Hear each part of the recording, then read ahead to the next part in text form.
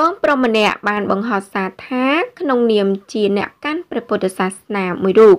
ខ្ញុំសូមថ្កោលទោសយ៉ាងដាច់អហង្ការ និងសូមសំណូមពរដល់ក្រសួងធម្មការនិងសាសនា ក្រសួងវប្បធម៌និងវិចិត្រសិល្បៈ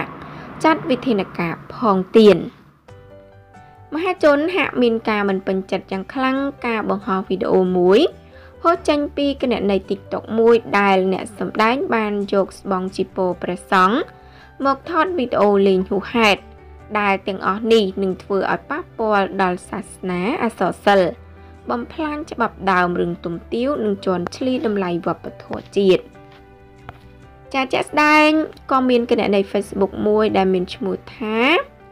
យើងគង្គាចាបានបង្ហោះសារបាទ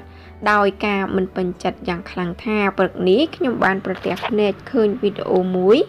មានចំណងជើងថាទុំទាវ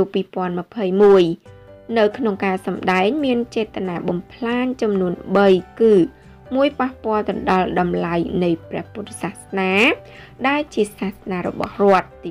2ប៉ះពាល់ដល់តម្លៃអសរសិល្ប៍ជាតិទី3ប៉ះពាល់ដល់តម្លៃនៃសិល្បៈវប្បធម៌ជាតិក្នុងនាម ជាអ្នកកាន់ព្រះពុទ្ធសាសនាមួយរូបខ្ញុំសូមថ្កោលទោស យ៉ាងដាច់អហង្ការដល់សំហើយសំណុំពរចាដល់ក្រសួងធម្មការនិងសាសនា ក្រសួងវប្បធម៌និងវិចិត្រសិល្បៈព្រមទាំងភាគីពាក់ព័ន្ធសូមមេត្តា ចាត់វិធានការឲ្យបានម៉ឺងម៉ាត់ចំពោះអ្នកដែលមានចេតនាចរិតនេះចានឹងទុកជាមេរៀនដល់ជនដទៃទៀត ចាប្រិមត្តពុកម៉ែបងប្អូនជាទីមេត្រីចាសម្រាប់អត្ថបទព័ត៌មានដែលនាងខ្ញុំបានជម្រាបជូនបងប្អូននៅពេលនេះចាក៏សូមបញ្ចប់តែត្រឹមប៉ុណ្ណឹងរាល់កំហុសខុសឆ្គងទាំងឡាយសូមខន្តីអធិស្ឋានចាហើយជាចុងបញ្ចប់សូមបងប្អូនកុំភ្លេចជួយចុច Subscribe និងសញ្ញារូបកណ្ដឹងឲ្យ Channel នាងខ្ញុំម្នាក់មួយផង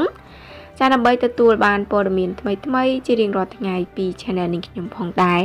ចាសូមអរគុណសូមគោរពលា